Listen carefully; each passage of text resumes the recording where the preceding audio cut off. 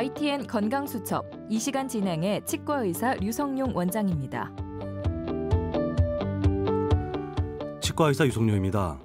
최근 들어 날씨가 많이 추워졌습니다. 보통 이런 계절이 되면 치아가 시리다고 치과에 오는 분들도 많아지기도 합니다.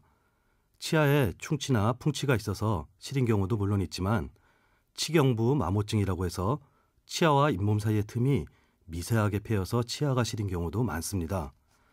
칫솔질은 기본적으로 위아래로 부드럽게 해주어야 치아 사이에 치태나 음식물이 잘 제거될 텐데 이런 습관이 잘 안 되어서 그저 열심히 센 힘으로 좌우로 세차게 박박박 닦기만 하는 분노의 칫솔질을 하는 경우가 많습니다.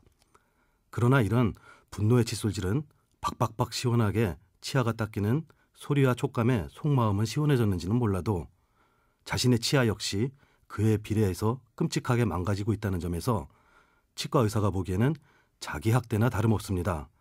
이런 분노의 칫솔질로 인해 치아의 가장 취약한 부분인 치경부의 범낭질이 마모되는 치경부 마모증이 흔하게 발병합니다.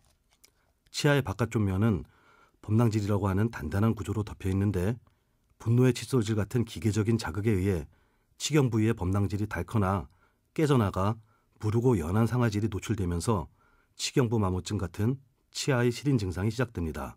이런 치경부 마모증을 막기 위한 방법으로는 위아래로 돌려 닦는 칫솔질 방법을 배워서 칫솔질을 하는 것이 바람직하고 무엇보다 칫솔질할 때 너무 센 힘으로 분노의 칫솔질을 하지 않는 것이 중요합니다.